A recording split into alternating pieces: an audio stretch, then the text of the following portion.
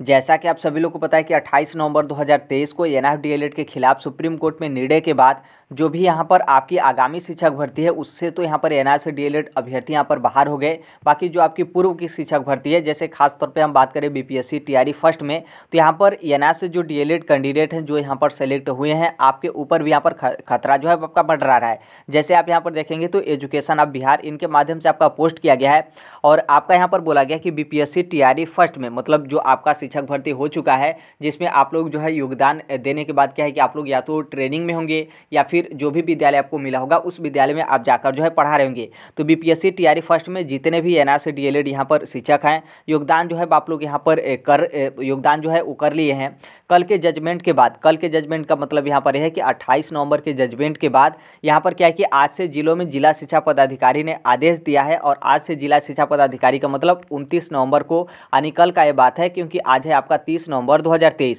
आदेश जो है आपके जिला शिक्षा पदाधिकारी की तरफ़ से दिया गया है कि जो एन से डी कैंडिडेट हैं, उनका यहाँ पर फोल्डर जो है आपका अलग रखा जाए। फोल्डर अलग रखने का मतलब यह है कि जब आप लोग डॉक्यूमेंट्स वेरिफिकेशन साथ में जब आपका काउंसिलिंग हुआ था तो आपने दो फोल्डर में डॉक्यूमेंट जो है वो जमा किया था। तो यहाँ पर जो एन आर से डी कैंडिडेट है, उनका यहाँ पर फोल्डर जो है अलग रखा जा रहा है कि कितने यहाँ पर एन से डी जो कैंडिडेट है, वो यहाँ पर बी पी फ़र्स्ट में जो आपकी प्राइमरी की वैकेंसी थी, उसमें ये लोग जो है वो सिलेक्ट हुए हैं। फिर यहाँ पर है कि आज मुजफ्फरपुर ज़िले, आज का मतलब कल की यहाँ पर बात किया जा रहा है कि कल यहाँ पर क्या था कि मुजफ्फरपुर ज़िले के जो आपके जिला शिक्षा पदाधिकारी हैं, उनके माध्यम से फोल्डर को अलग जो है आपका छाटना शुरू कर दिया गया है और शिक्षा विभाग सत्तर जो कि आप सभी लोग को पता है कि इतने पदों पर बी पी एस की तरफ़ से प्राइमरी का आपका रिज़ल्ट जो है वो जारी किया गया था। तो जो आपका पी आर टी है, उसका रिज़ल्ट, उस पर रेगुलर जो डी अभ्यर्थी हैं, उनके साथ यहाँ पर रिवाइज करके आपका रिज़ल्ट जो है आपका जारी किया जाएगा। ऐसा शिक्षा विभाग काम करते हुए आगे प्रक्रिया को यहाँ पर जो है बढ़ा रहा है और एन कैंडिडेट के रिज़ल्ट पर जल्द यहाँ पर विभागीय लेटर जो है आपको देखने को मिलेगा। मतलब यहाँ पर इस पोस्ट के हिसाब से आप यहाँ पर देखेंगे तो जो आपका बी पी फ़र्स्ट है, जिसमें आपकी प्राइमरी की वैकेंसी थी, जिसमें आपका सत्तर टोटल छः पदों पर बी के माध्यम से रिज़ल्ट जारी किया गया था। तो इसमें जितने भी एन से डी कैंडिडेट सेलेक्ट हुए हैं, उनको यहाँ पर छाट करके फिर से यहाँ पर रिवाइज रिज़ल्ट किया जाएगा और जो रेगुलर डी कैंडिडेट हैं, सिर्फ़ उनका यहाँ पर रिज़ल्ट जो है फिर से यहाँ पर बी पी एस सी के माध्यम से जो है आपको देखने को मिलेगा। और जल्द ही इसके संबंध में आपको कुछ ना कुछ सूचना जो है आपको देखने को मिलेगा कि जो एन आर सी कैंडिडेट हैं, उनको यहाँ पर बाहर जो है आपका किया जाता है, जिस तरीके से अट्ठाईस नवंबर का सुप्रीम कोर्ट की तरफ़ से आपका जजमेंट जो है आपका जारी किया गया था। अब यहाँ पर देखेंगे तो जो आपके मुजफ्फरपुर जिला है, संभवतः ये तो पता नहीं कि मुजफ्फरपुर ज़िले के कौन जिला शिक्षा पदाधिकारी हैं, लेकिन आपने देखा था कि जो आपका काउंसिलिंग हो या फिर जो आपके औपबंधिक नियुक्ति पत्र हो या फिर बीच में ही डॉक्यूमेंट्स वेरिफिकेशन जाँच वगैरह हो तो आपके मुजफ्फरपुर से काफ़ी ज़्यादा न्यूज़ जो है आपको देखने को मिला था मिला था। मतलब कुछ भी यहाँ पर जो आपकी छटने की प्रक्रिया हो या फिर बाहर करने की प्रक्रिया हो तो स्टार्टिंग से आपका मुजफ्फरपुर में ही यहाँ पर जो है आपका शुरू होता है। तो इसलिए फिर से यहाँ पर क्या कि मुजफ्फरपुर के जो जिला शिक्षा पदाधिकारी हैं, उनके माध्यम से स्टार्टिंग में यहाँ पर जो है आपका काम चालू कर दिया गया कि जो एन आर कैंडिडेट हैं,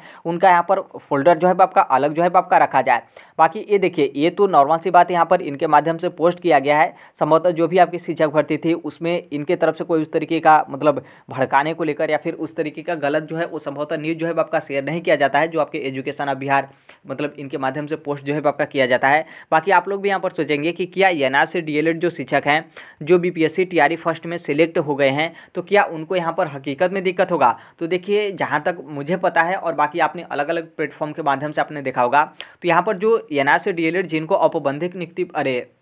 उपबंधक बोले जो आपका विद्यालय आवंटन से संबंधित प्रपत्र मिल चुका है उसके बाद जो भी आपका योगदान देने के बाद आप लोग क्या है कि आप लोग पढ़ा रहे हो या फिर ट्रेनिंग कर रहे हो तो सम बहुत पूरा चांस है कि आप लोग यहाँ पर बाहर जो है वो नहीं होंगे। आप लोग यदि एक बार सिस्टम में इंटर कर गए हैं तो आप लोग वहाँ पर आप लोग को किसी भी तरीके का दिक्कत नहीं होगा। बाकी जो एक नोटिस को लेकर बोला जा रहा था कि आपका फलाफल कोर्ट का कोई उस तरीके का निर्णय आता है तो उसके ए, मतलब उसमें आपका फलाफल परिवर्तन जो है आपको देखने को मिलेगा तो उसमें आप देखेंगे तो उसमें आपके रिज़ल्ट को लेकर बोला गया है कि आपका जो रिज़ल्ट होगा, उसमें आपका फलाफल परिवर्तन जो है आपको देखने को मिलेगा। तो नॉर्मल से बात है, यहाँ पर आप लोग का रिज़ल्ट थोड़ा ही मैटर है। आप लोग तो यहाँ पर, आप ज्वाइनिंग भी कर लिए। आपका यहाँ पर ज्वाइनिंग लेटर भी मिल गया और संभवतः कुछ दिसंबर के बाद आप लोगों का यहाँ पर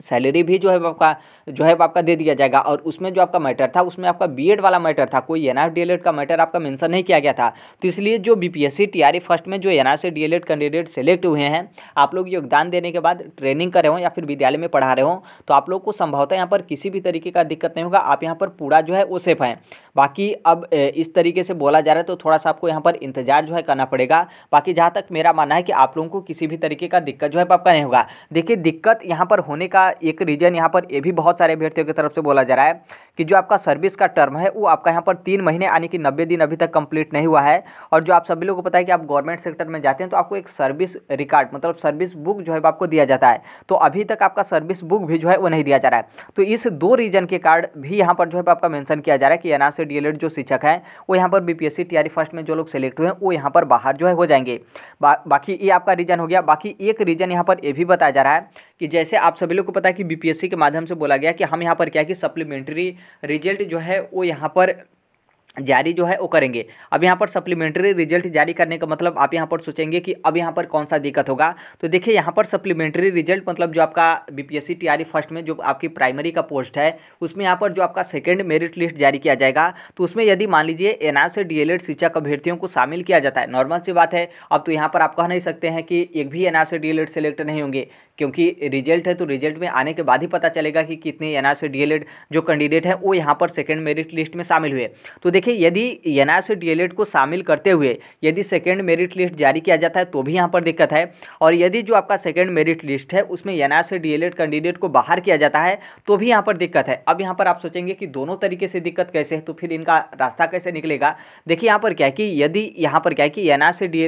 पहली बात, यहाँ पर बाहर करने को लेकर, क्योंकि अट्ठाईस नवंबर को आपका सुप्रीम कोर्ट की तरफ़ से निर्णय आ गया है कि एन आर सी डी जो है वो शिक्षक भर्ती के लिए एलिजिबल नहीं रहेंगे। तो यहाँ पर क्या है कि अट्ठाईस नवंबर तो अब आपका बीत गया, अब यहाँ पर जो आपका सेकेंड मेरिट लिस्ट जब कभी भी आएगा, अब तो अट्ठाईस नवंबर का बाद का ही वो जो है आपका डेट माना जाएगा। तो यदि मान लीजिए एन आर को यहाँ पर बाहर करते हुए सेकेंड मेरिट लिस्ट जारी किया जाता है तो इस तरीके से दिक्कत होगा कि ये जो आपका समानता का अधिकार है उसका यहाँ पर उल्लंघन होगा। क्योंकि यहाँ पर समानता का अधिकार का उल्लंघन का मतलब यह है कि जैसे जो आपका बीपीएससी टीआरई फ़र्स्ट है, वो तो आपका एक ही वैकेंसी है, वो तो आपकी वैकेंसी अलग अलग नहीं है और एक ही वैकेंसी में यहाँ पर क्या है कि वो आपकी वैकेंसी कंप्लीट नहीं हुई है और एक ही वैकेंसी में यहाँ पर क्या है कि एक तरफ़ एन आर को शामिल किया जाता है और दूसरी तरफ़ आपका एन आर को बाहर किया जाता है। तो ये साफ़ तौर पर समानता का जो अधिकार है, उसका यहाँ पर उल्लंघन है क्योंकि एन आर के जो अभ्यर्थी हैं, उनके साथ यहाँ पर भेदभाव जो है आपका किया जा रहा है। तो इस मैटर से यहाँ पर क्या है कि एन को यदि बाहर करके सेकेंड मेरिट लिस्ट जारी किया जाता है तो ये भी आपका जो कानूनी दाव पेच है, उसमें आपका यहाँ पर फंस जाएगा।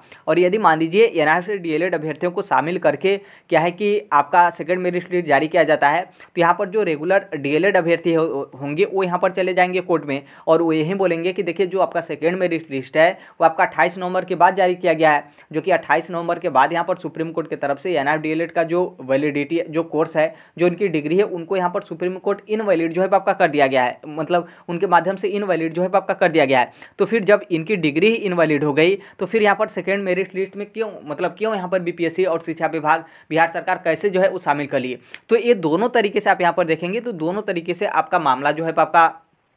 उलझता हुआ जो है वो दिख रहा है। आप यदि एक शब्द में चाहते कहना चाहते हैं कि एन को बाहर करके रिज़ल्ट जा, जारी कर दिया जाए सेकेंड मेरिट लिस्ट तो बहुत मुश्किल है क्योंकि ये साफ़ तौर पर समानता का अधिकार का जो है वो आपका उल्लंघन है क्योंकि एक ही आपके रिज़ल्ट में एक ही वैकेंसी में एक ही नोटिफिकेशन में और वो भी आपकी प्राइमरी की वैकेंसी है और वो भी आपका कंप्लीट अभी वैकेंसी नहीं है क्योंकि इसका तो आपका सप्लीमेंट्री रिज़ल्ट जारी करना है। यदि मान लीजिए अलग अलग आपका आपका पोस्ट होता है या फिर अलग अलग वैकेंसी होती है तो उसमें आपका इस तरीके का हो सकता था कि एन को वहाँ पर शामिल कर लिया जाए और अब यहाँ पर बाहर कर बाहर जो है आपका कर दिया जाए। लेकिन सेकेंड मेरिट लिस्ट में दोनों तरीके से आप देखिएगा, यदि शामिल होते हैं तो भी दिक्कत है और यदि बाहर होते हैं तो भी यहाँ पर जो है आपका दिक्कत है। दोनों तरीके से आपके जो कानूनी दाव पेच है, वो यहाँ पर फंसते हुए नज़र जो है आपके आ रहे हैं। बाकी जहाँ तक मेरा मानना है कि जो लोग ज्वाइनिंग वगैरह कर लिए उनको यहाँ पर किसी भी तरीके का दिक्कत नहीं होगा। बाकी बहुत सारे जो आपके सीनियर वकील हैं या फिर बहुत सारे अभ्यर्थी वगैरह बोल रहे हैं कि वो आपका दिक्कत होगा। तो देखिए, यहाँ पर कुछ अभ्यर्थी ऐसे भी होते हैं कि आज के डेट में देखिए, कोई किसी से भी जो है वो मतलब खुश नहीं है, क्योंकि आप सभी लोग को पता है कि मतलब सबसे जो नज़दीकी होते हैं, जैसे मान लीजिए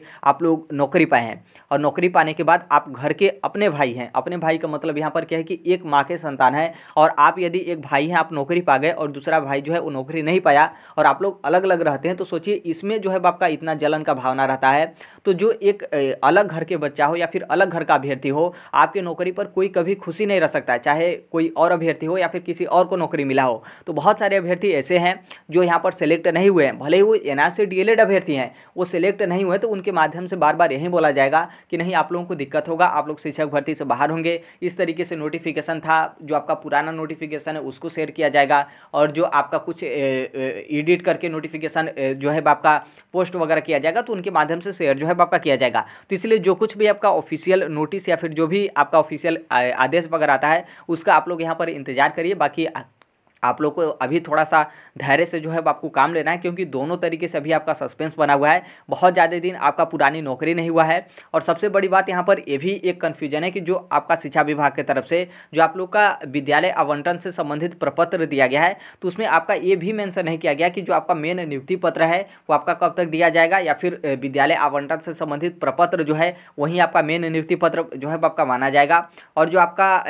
जो आपका सर्विस बुक होता है, उसको लेकर भी अभी जो है आपका नहीं दिया गया तो इससे थोड़ा बहुत संशय आपका बनता है। बाकी जहाँ तक मेरा पता, मेरा मानना है कि एन आर जो शिक्षक अभ्यर्थी हैं, आप लोग योगदान कर लिए हैं तो आप लोग यहाँ पर बिल्कुल जो आपका बी पी फ़र्स्ट है, उसमें आप लोग जो है वो सेफ़ है, आपको किसी भी तरीके का दिक्कत जो है उन्हें होगा। तो अभी के लिए यही अपडेट है, बाकी यदि आप इस platform right to education Sonbhadra पे पहली बार विज़िट किए होंगे तो सब्सक्राइब करते हुए बेलाइकन को प्रेस जो है ज़रूर कर लीजिएगा। जो कोई भी अपडेट, जो कुछ भी इन्फॉर्मेशन आता है, यहाँ पर किसी भी तरीके से मतलब भेदभाव की भावना में या फिर जलन की भावना में कि आप सिलेक्ट हो गए, हम नहीं सिलेक्ट हुए तो हम यहाँ पर बोले कि एन डी एल यहाँ पर बाहर हो गया। ये सब कभी भी जो है आपके इस प्लेटफॉर्म पे शेयर जो है आपका नहीं किया जाता है। बाकी मान लीजिए कोई उस तरीके का होता है, कुछ पोस्ट भी कर दिया जाता है तो हमें पता चलता है उसका क्लियरेंस को लेकर या फिर गलती को लेकर तो हम तुरंत उसे जो है वो डिलीट कर देते हैं। हमें कोई यहाँ पर लाइक और उससे मतलब नहीं रहता है। बस यहाँ पर मेरे कहने का मतलब यह है कि जो कुछ भी आपके पास इन्फॉर्मेशन जाए, वो आपके पास सही इन्फॉर्मेशन जाए और गलत इन्फॉर्मेशन जाती है तो उसे हमारे माध्यम से तुरंत जो है आपका डिलीट जो है कर दिया जाता है। तो अभी के लिए यही अपडेट है। बाकी जैसे भी जो कोई भी अपडेट इन्फॉर्मेशन होगा, उसे हम शेयर कर देंगे। मिलते हैं अगले नेक्स्ट वीडियो में, तब तक के लिए thank you bye bye take care all the best thank you for listening God bless you thank you